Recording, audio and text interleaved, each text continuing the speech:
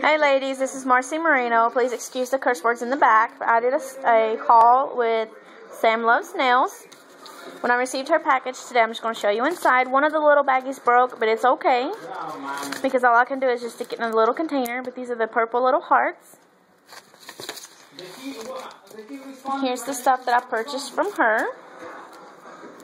So, so many. They're like little cupid dolls, hexies, swans, palm trees, swirlies, Betty Boops, diamonds, to here, triangles, teardrops, hearts, more Betty Boops, diamonds, diamonds, triangle, triangle, triangle, triangle, hearts, and swans.